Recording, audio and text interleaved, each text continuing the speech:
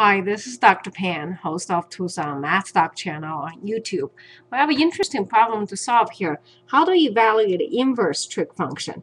The trick is always this. Recognize this one, so long they give an inverse of trig, it's always an angle. Okay. Now, it's different than if you were given sine of, uh, let's say, 60 degrees. That's equal to radical 3 over 2. Okay, this angle goes into the sine. But the minute they give you inverse sine, you always have to recognize this whole thing is equal to an angle. Once you realize that, it's pretty easy because here the equation of inverse becomes sine of theta is equal to minus radical 2 over 2, which is really radical 2 over 2, okay, sine of theta. From there, you have two ways we can figure out what theta makes this angle. One way is we draw a sine curve from 0 to 2 pi. And we find where the y value is, which is radical 2 over 2, so it's roughly 0.7 or so. Okay, And then you see there's two angles that meets that criteria.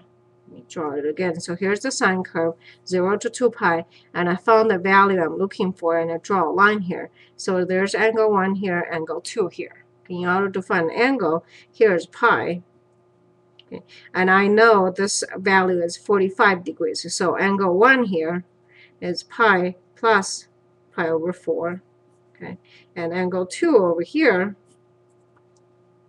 this one is 2 pi minus pi over 4.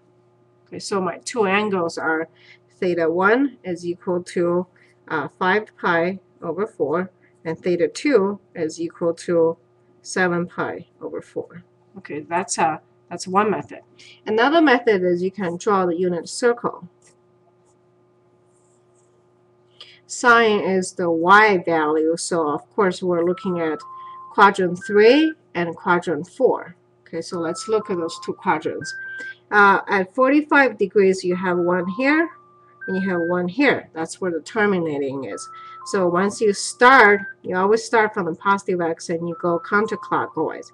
So the way you're going to go, first angle is over here, which is pi plus pi over 4, just like before, because this is pi. Okay, pi over 4. And the other one is, of course, if you go travel all the way almost to the end, but it's 2 pi short of pi over 4. Okay, you get exactly the same answer. So it's 5 pi over 4, and this is 7 pi over 4. Okay, so here's the answers. All right, hope this helped. Have a confident day.